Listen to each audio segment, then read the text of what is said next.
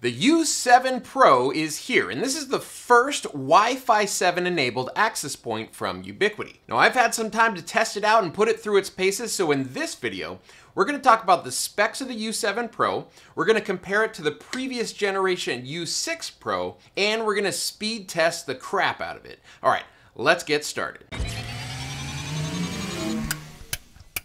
Crosstalk's Fundamentals of Networking training course in Seattle is just over a month away, and we still have some spots available. But once they're gone, they're gone. So if you're interested in learning the core fundamentals of computer networking, come join our three day hands on training course that's not only informative, but also entertaining.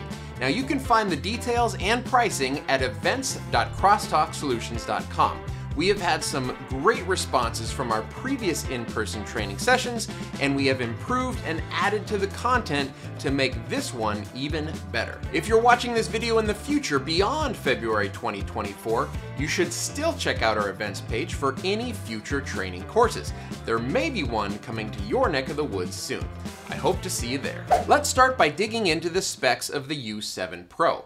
The first and most obvious difference is that the U7 Pro is Wi-Fi 7, meaning that it can take full use of the 2.4, 5, and 6 gigahertz wireless spectrums. Now, Wi-Fi 6E can also use all three of these wireless spectrums, but Wi-Fi 7 has a number of improvements on how those frequencies are utilized.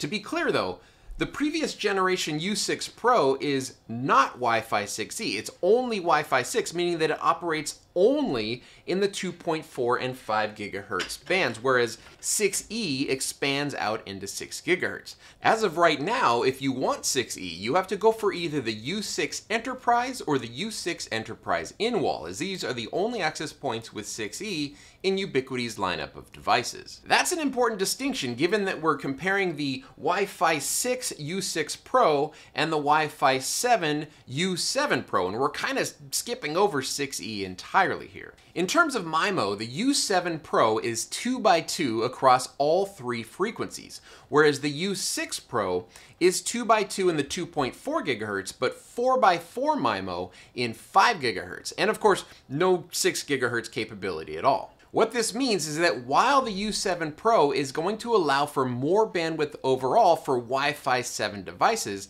it actually has less bandwidth in the 5 GHz frequency than the U6 Pro, which is something to keep in mind if the majority of your devices are either Wi-Fi 5 or Wi-Fi 6. When it comes to theoretical maximum throughput, the U7 Pro has 688 megabits in 2.4 gigahertz, 2.8 gigabits in 5 gigahertz and a whopping 5.7 gigabits per second in the 6 gigahertz frequency. Compared to the U6 Pro, the U7 Pro is slightly better in 2.4 gigahertz, but it has about 2 gigabits less maximum throughput in the 5 gigahertz frequency. And of course, it absolutely kills it in 6 gigahertz since the U6 Pro is only Wi-Fi 6. The maximum number of connected devices for the U7 Pro is rated at 300 plus versus the U6 Pro which is rated at 350 plus. Though I mean, if you're really dealing with an installation that needs to support 300 plus client devices, you probably shouldn't be installing a single access point regardless. Now, size-wise, these access points have almost the exact same diameter footprint, but the U7 Pro is a little bit thicker from back to front. The U7 Pro comes with a 2.5 gigabit Ethernet port versus the U6 Pro's gigabit Ethernet port, which actually is a really nice upgrade. When it comes to power, the U6 Pro is powered up by PoE, but the U7 Pro requires PoE Plus to power it up. Now this difference is reflected also in the maximum power requirement of the U7 Pro, which pulls up to 21 watts versus the U6 Pro, which has a maximum of 13 watts. Now when I tested this while these were sitting idle, the U7 Pro was pulling just under 10 watts of power, whereas the U6 Pro was using just about 6 watts of power. All right, so now let's talk about channel width because this is where we're really gonna see some significant improvements with the U7 Pro.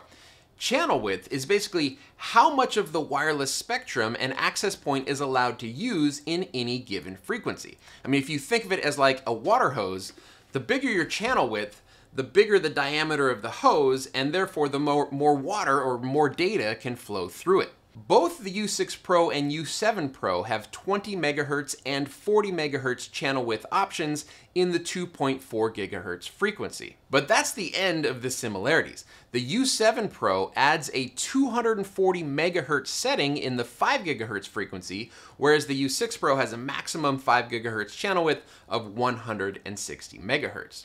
Then we get up to 6 gigahertz, where of course the U6 Pro has no options, right, since it can't utilize that frequency at all, but the U7 Pro has channel width options all the way up to a whopping 320 megahertz. Now to put that into perspective, the 2.4 gigahertz wireless frequency has three non-overlapping 20 megahertz channels but you can go all the way up to 320 megahertz in the 6 gigahertz frequency with the U7 Pro. That's just crazy. Now let's put these channel widths to use and do some testing.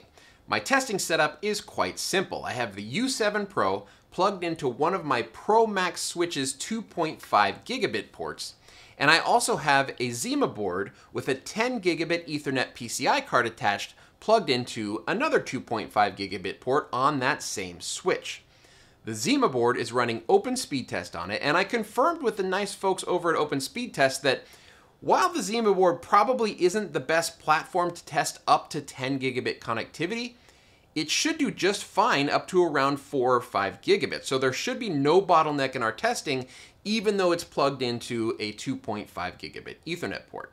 I tested with both my iPhone 13 Pro Max and the Google Pixel 8, which is one of just a handful of devices on the market today that are Wi-Fi 7 capable. I configured the U7 Pro with a 320 megahertz channel width for these speed tests, but left the channel selection and transmit power set to auto. I also made sure that it was the only access point powered on while running these tests.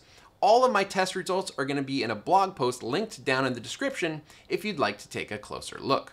Testing the U7 Pro with my Google Pixel 8 had an impressive showing with an average download speed of just over 1.4 gigabits per second and an average upload speed of 1.87 gigabits per second. Now remember, that's Wi-Fi 7 with a 320 megahertz channel width. Testing the U7 Pro with my iPhone 13 Pro Max we saw an average download speed of just under 700 megabits per second and an average upload speed of about 812 megabits per second. This is with a 240 megahertz channel width in the 5 gigahertz frequency range. Switching now over to the U6 Pro and running these same speed tests, the Google Pixel 8 was able to achieve an average of 673 megabits per second download and an average of 944 megabits per second upload. That's 160 megahertz maximum channel width that you can set on the U6 Pro. Testing out the U6 Pro with the iPhone 13 Pro Max, I received an average of 622 megabits per second download and 563 megabits per second upload. What can we infer from these results? Well, first and foremost, a Wi-Fi 7 device connecting to a Wi-Fi 7 access point is super fast. Right? It's almost twice as fast as any of the other tests. Another interesting data point is that while both the Google Pixel 8 and my iPhone Pro Max 13 were both connected to the U6 Pro access point with Wi-Fi 6, the Google Pixel 8 slightly outperformed the iPhone in download speed, but it absolutely trounced it with upload speed. It was almost twice as fast. The iPhone running speed tests on the 240 MHz channel with U7 Pro also underperformed versus the Google Pixel 8 running speed tests against the 160 MHz channel with U6 Pro.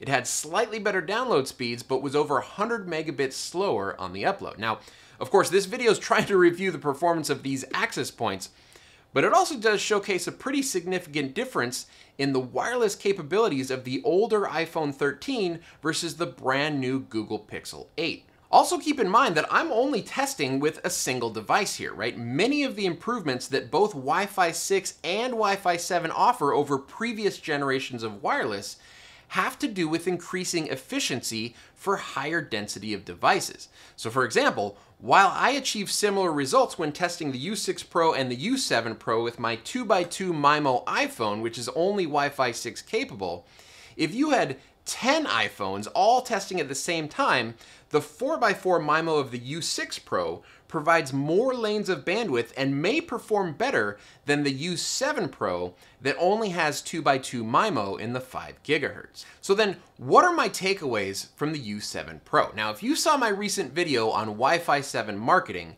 you already know my thoughts on buying into new wireless technology before the standard is actually ratified. The Wi-Fi 7 standard is no longer in draft status, but it is still pending a vote on final approval, which is expected to happen later in the year. Do I think that something is going to change that makes these new access points obsolete once the Wi-Fi 7 standard is solidified?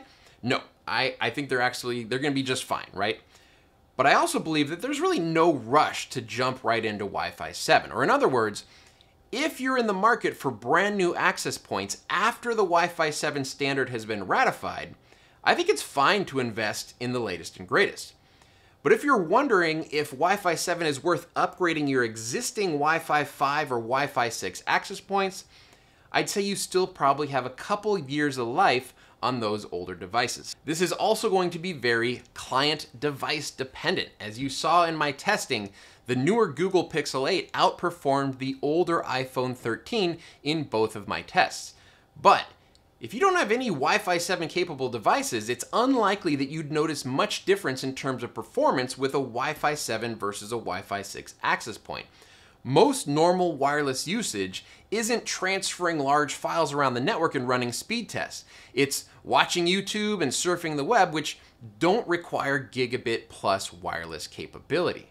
And even when Wi-Fi 7 is standard on smartphones, it'll still be years and years before all of your other devices catch up content streaming boxes like Roku, IoT devices, printers, right? These kind of things are all fine with Wi-Fi 5, or maybe you could make a case for Wi-Fi 6, but it's going to be a long time before Wi-Fi 7 would be required in order to not bottleneck your wireless connectivity. Disagree? Let me know down in the comments below. And if you'd like to keep this party going, I have hand selected a couple of videos on the right here for you to watch next. The top video is my recent review of another brand new access point, the UK Ultra, and the bottom video features my thoughts on Wi-Fi 7 marketing here at the beginning of 2024.